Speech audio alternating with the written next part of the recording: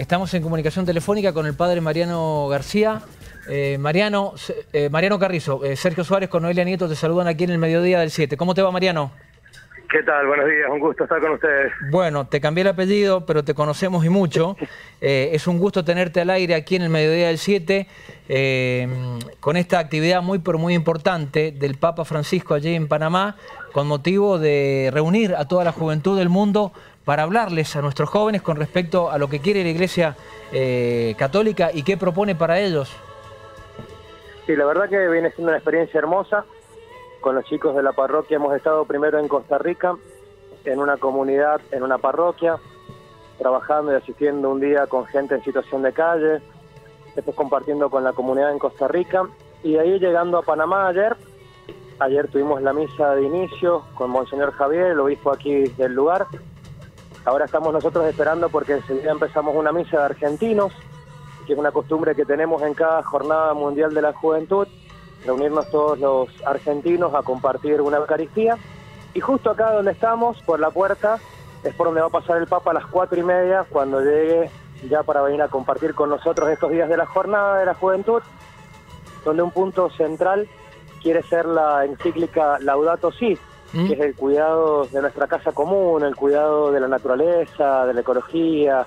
La verdad que una experiencia hermosa. Eh, padre, ¿quiénes, ¿quiénes lo acompañan? Porque hablábamos de una delegación. ¿Son jóvenes de su parroquia? ¿Son de varias parroquias?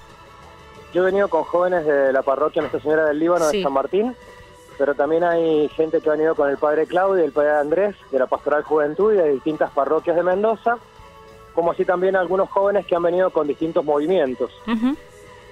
Y la tarea que ustedes van a desarrollar allí va a ser durante la visita del Papa pero además tiene alguna otra función específica, digo, ¿cuántos días se van a quedar allí? Bueno, nosotros después de, que tenemos el encuentro con el Papa, tenemos un encuentro durante una semana con jóvenes también de distintas partes del mundo que cumplimos la espiritualidad del movimiento de los focolares, donde también queremos descubrir, mirando la realidad en la que cada uno de nosotros vivimos, cómo podemos responder con los dones y talentos que Dios nos ha regalado en este compromiso social, tiene un impacto muy fuerte esta venida del Papa con la doctrina de la Iglesia, la doctrina social de la Iglesia, de cómo se puede llegar concretamente a la realidad de los pobres, de los marginados, de los que están más alejados. Padre, ¿hay alguna posibilidad de mm, una charla con el Papa, de un encuentro más cercano de los jóvenes que han viajado de la República Argentina y de Mendoza? No, yo creo que va a ser difícil porque bueno, es una multitud grande, calculamos un millón y medio de personas en estos días aquí. Eh, de Argentina no sabemos, pero creo que unos 4.000, 5.000 seguramente han venido, se han visto muchos argentinos por la calle. Y el Papa viene con una agenda bastante apretada, así que no creo que en estos días. Sí se encuentra con jóvenes y representantes de distintos países. Cuando él viene a esta jornada suele a veces desayunar con algunos o compartir un momento con representantes de distintos países. Muy bien. Le agradecemos, Padre Mariano Carrizo, de la Iglesia Nuestra Señora del Líbano, Departamento San Martín esta comunicación con el Mediodía del 7 hablando y esperando al Papa Francisco allí en Panamá.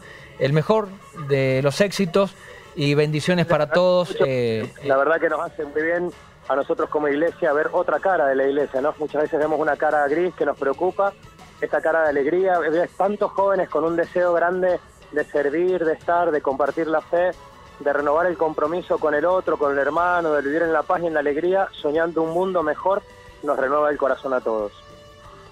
Gracias, padre. Muchas gracias a ustedes. Un abrazo a la distancia, muy amable. Dios los bendiga, un abrazo. Gracias. Igualmente, hasta luego.